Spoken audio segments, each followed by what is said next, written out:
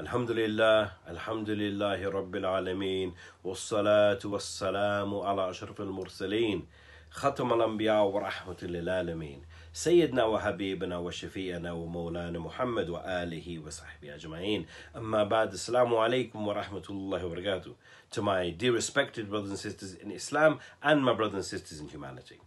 Welcome to the second part of our series of Seven Steps to Success.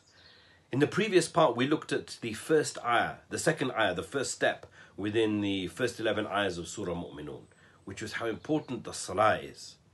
In this one, the surah continues. So we will look at the step, the second step of the seven towards success. أعوذ بالله من الشيطان الرجيم بسم الله الرحمن الرحيم قد أفلح المؤمنون الذين هم في صلاتهم خاشعون والذين هم من اللغو مؤردون Wow والذين هم من اللغو مؤردون Who are these people? Those people who stay away from lagwa. What an amazing term. Those people who stay away from, who, who, who turn away from, who vie away from lagwa. What's lagwa? Lagwa we literally translate in many translations of the Quran as vain talk. But let me put vain talk into a modern context. Vain talk includes amongst it things like slander, backbiting, trash talk, as we would often talk about now. These sort of things are all vain talk. Another way we could describe vain talk is useless talk. Let me just focus on a couple of those for a second. Backbiting, slander, trash talk. It's become so normal in our modern society, all over the world. Let us be honest, all over the world. There are programs dedicated to backbiting and slander. There are magazines dedicated to backbiting and slander. In our conversations, sometimes we go into gatherings and we see gatherings of backbiting and slander. He said, she said, he did, this did. Everything is all about other people. All of these come into the category of laghwa. Trash talk. What is trash talk? Absolute rubbish talk. We talk so much rubbish in our daily language.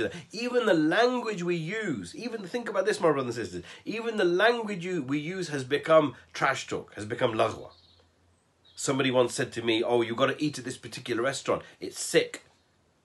I said, I don't particularly want to eat sick food. I'd like to eat good food. But we use the word sick. Wicked. That's a wicked pair of trainers, somebody will say. We even use words which, without realizing how much it's infected our, our society. Wicked, bad, sick, fat. That's a fat car he's driving. Meaning it's a good car. It's ah, ajib how our language is turned upside down.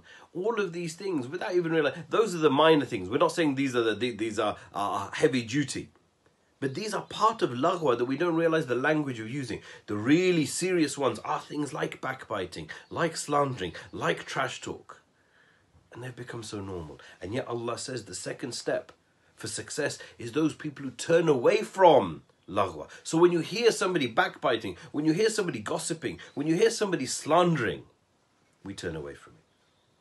We should remind ourselves as believers, inshallah, this is what we're striving to be in this surah, that these steps are really important. So when we hear it, we turn away.